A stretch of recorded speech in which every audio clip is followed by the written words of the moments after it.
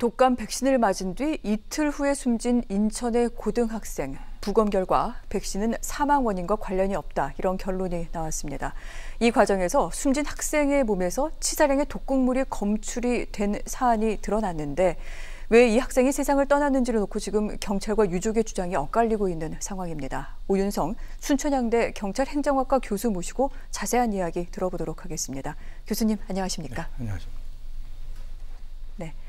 독감 예방접종을 받은 뒤 숨진 채 발견된 17살 고등학생의 부검 결과가 나왔습니다. 지난 14일에 독감 백신을 접종을 받았고요. 이틀 뒤에 사망한 채로 발견이 됐는데 질병관리청 부검한 결과 사인이 접종과 직접 관계가 없다고 경찰로부터 전달받았다라고 발표하기도 했습니다. 어, 전에 들은 이야기로는요, 이 학생 몸에서 나온 독극물, 이 아질산 나트륨이라는 그런 물질이라고 하는데 교수님 설명을 좀 해주십시오. 네, 이번에 숨진 그 이 학생은 지난 그 10월 14일 12시에 개인 병원에서 독감 백신을 접종하고 16일 날 오전에 사망을 했습니다. 그래서 이제 어 사실 뭐 유가족들의 얘기에 의하면 몸이 안 좋았다 뭐 이런 얘기도 했다라고 하는 걸 봐서 혹시 백신을 접종한 이유 때문에 그렇게 된 것이 아닌가라고 했는데 이번에 그 국립과학수사연구원에서 어, 부검 결과가 나왔는데요. 네. 치사량의 그 아질산 나트륨이 검출됐다. 일단 그 정부 입장은 에, 결과적으로 이 A군의 사인과 그리고 이제 백신 접종과의 사이에 있어서 직접적 연관성은 없다라고 네. 이제 결론을 내린 것 같습니다. 그래서 이번에 이제 어, 검출된 이 아질산 나트륨, 이 아질산염 이것은 대표적인 이제 식품 첨가물이죠. 그래서 많이 이제 아실 텐데 햄, 소세지, 육가공품의 색깔을 약간 그 어, 선홍빛으로 네. 내기 네. 위해서 사용을 하는 건데요. 독성이 상당히 강하고 어, 이 발암 물질로도 알려져 있습니다. 그래서 이제 치사량 같은 경우는 성인 기준으로 해서 약 한 4 내지 6g 정도를 만약에 그 섭취하게 된다면 호흡 곤란으로 사망을 할 수 있는 대단히 위험한 그런 그 물질이죠. 아 그렇군요. 그래서 이번에 부검 결과 치사량의 이 물질이 발견됐다 이렇게 얘기가 나온 것이고 질병관리청에서는 그렇기 때문에 독감 백신과는 관련이 없다 이렇게 결론을 낸 상태입니다. 경찰은 극단적인 선택 쪽에 무게를 두고 있는데 어떤 이유들이 좀 나왔습니까?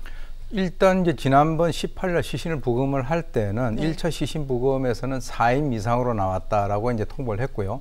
그리고 이제 정밀 조직 검사를 하고 난 이후에 이제 이번에 결과가 나왔는데 경찰의 입장에서는 일단 그 타살의 흔적이 없다. 라고 하는 것과 그리고 이제 이 A군의 몸에서 아질산 나트륨이 이제 다량 저거 치사량 이상 검출됐다라고 하는 거.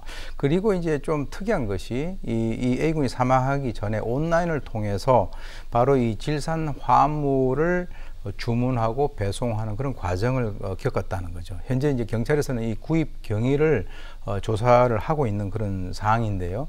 음, 뭐 그것이 이제 조금 더 있으면 이제 경찰의 그 어떤 결과 발표가 있겠습니다만은 네. 일단은 경찰에서는 어, 극단적인 선택의 가능성에 무게를 두고 수사를 하고 있는 상황입니다. 그렇군요.